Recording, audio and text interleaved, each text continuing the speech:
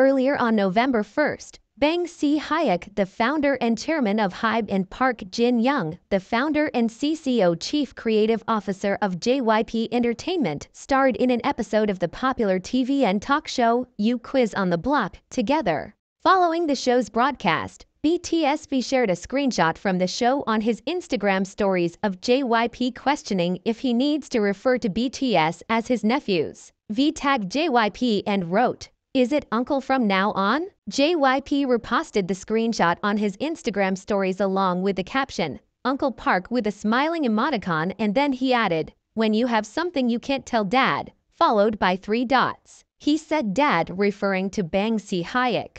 Don't forget to hit that subscription button for more updates.